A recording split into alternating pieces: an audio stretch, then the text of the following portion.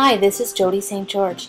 In this video, I will show you how to make your own bean bags that you can use in many ways in your music therapy sessions.